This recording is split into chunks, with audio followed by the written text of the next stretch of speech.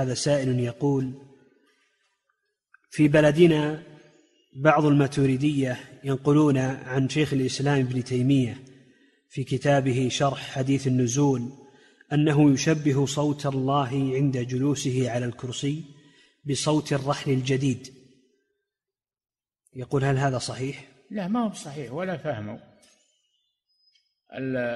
العرش يئط العرش يئط له صوت إذا استوى عليه الرحمن صار له صوت يئط من آه، من عظمة الله سبحانه وتعالى وجلاله يصير له صوت.